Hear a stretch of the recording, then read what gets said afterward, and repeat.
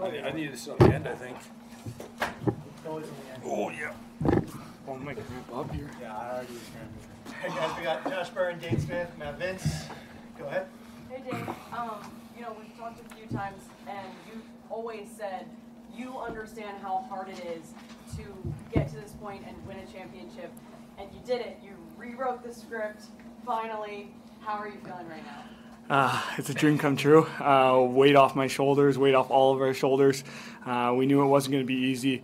I think that was our most complete game of the year, and uh, started from obviously the best goalie in the world uh, to our great defense to our great offense, and uh, trusting the process. Um, the coaches did a great job at adjusting a little bit, and I'm so thankful. I, like again, I'm in shock right now. Josh, can you take us through your experience of the last week with the whole medical issue? How you felt today, etc. Uh, man, one of the biggest emotional roller coasters of my entire life. You know, um, calling this guy the day of the game, just bawling my eyes out, telling him I can't play, and um, trusting these guys, and and and really just um, trusting the teammates and trying to be there in any way that I can. And um, you know, frustrating, frustrating. I, have never, I never thought I would have to sit out a championship game um, especially from an injury. Like it's just the most frustrating thing ever. But you know, the universe has a funny way of working, and uh, fortunately, we were able to get to game three, and and now we're champs. So, I can, I can, you, you couldn't have wrote it any better, man. How certain were you, or uncertain, a week ago that you'd be able to play here tonight? Tonight, after game two, no matter how I was feeling, uh, I was I was gonna play. Josh, you had an assist on the first goal. How much did that help you get settled into to the energy and the flow? Uh, not great, honestly. I feel like I was just I was throwing the ball away a lot in the first quarter, but you know, um, obviously you trust in your teammates, and, and they trusted in me. So, um, you know, this guy's the first one to be looking at me, and even when I make a dumb play, he's like, "Keep going, man. it's all good." Dhane, all the individual accolades you've earned in your career, just what does it mean to finally have those championships? This uh, I don't care about anything but this championship. I honestly, uh, I, have said it before. You don't get recognized for your accolades. You get recognized for uh, those banners, and we finally did it. And I'm so thankful. Uh, again, it's just like it's a dream come true. Matt, you don't put up a save percentage of 920 without having a lot of help. Was that just a defensive masterpiece from your viewpoint? Yeah, obviously, I think uh, you know, the way we finished game two, I don't think that's that well with anybody, you know, the last couple days. And, you know, I think that, you know, might be, you know, the least amount of composure we could have had in game two. And shows a lot of character, I think, in our locker room for, you know, not only on the defensive end, but offensive end for us to come out with a performance like that, stay out of the penalty box, just do all the little things right. Um, I think uh, basically we couldn't have scripted a better game plan offensively and de- uh, defensively. Um, and I'm just fortunate, you know, I think to be the, the last line of defense. And, you know, it's a pleasure to be able to play behind that group. Matt, you've won the NLL Cup a few times before. How different is it to, to win it here in Buffalo?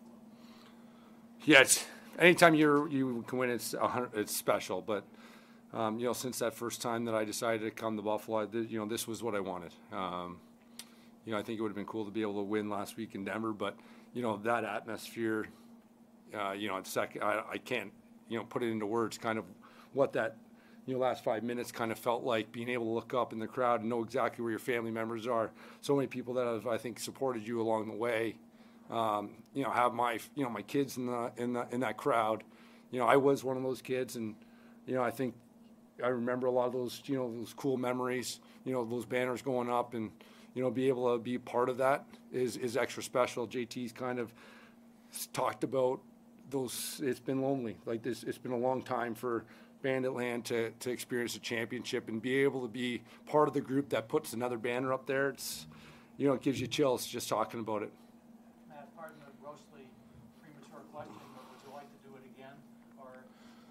You know, I think I, I, felt like this was going to be a, a question. Again, it's it's I don't know if there's a time to talk about this stuff because it doesn't involve just me in in in tonight today. It's about our group, and I think I just want to focus on our group. You know, these guys beside me. I think that's our, our main focus. Is uh, you know, I think enjoying the moment um, because it's a big it's a big one, and I'm just you know I think I'm proud to to be sitting here with these two guys. Uh, you know, hell, hell of lacrosse players, great leaders, and yeah, it's just. Uh, I, know, I think it's going to be an emotional day for a lot of guys. You know, I think for us, trying happy to finally get one in Banditland.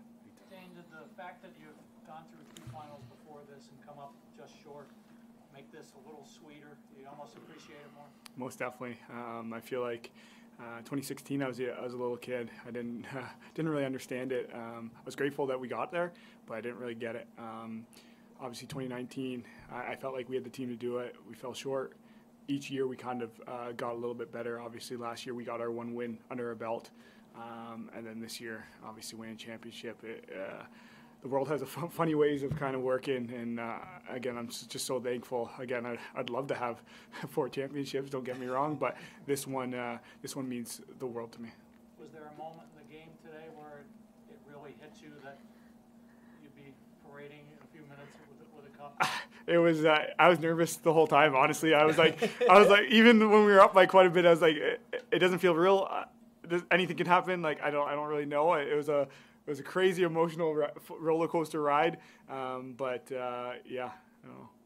Steve hands you the trophy. Describe that moment. Again, you, you It was heavy. It, it was heavy. It, wa- it, it really was, I- or I'm weak. I'm not too sure. But honestly, um, you, you dream as a kid to uh, play professional lacrosse. At least I did. Um, once I got to the professional level, my, my goal was to win a championship. Um, I, I put so much hard work um, with these guys um, throughout this process, and it wasn't easy. Uh, again, uh, I've been in this league for 11 plus years, and I had nothing to show for it until this uh, tonight. And uh, I, I'm so thankful for this organization, for for Banditland, for every fan that, um, no matter how the circumstances were, uh, I know Buffalo's been through so much in the past few years, and they deserve it more than ever. And I'm just so thankful for my teammates because um, I wouldn't be sitting here without every one of those guys. Anybody else? All right. Thanks, guys.